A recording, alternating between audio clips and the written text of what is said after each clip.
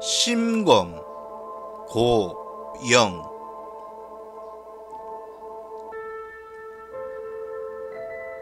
풀을 뽑다 손가락을 베었다.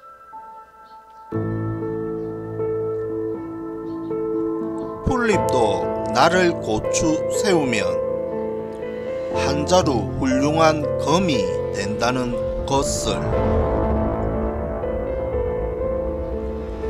손가락 피를 빨며 알았다.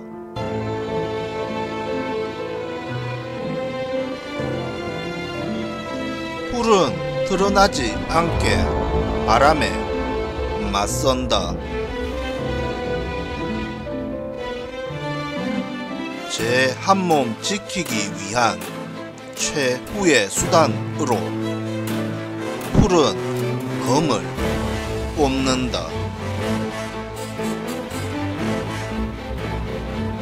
식물은 공격적이지 않고 다른 영역을 탐내지 않고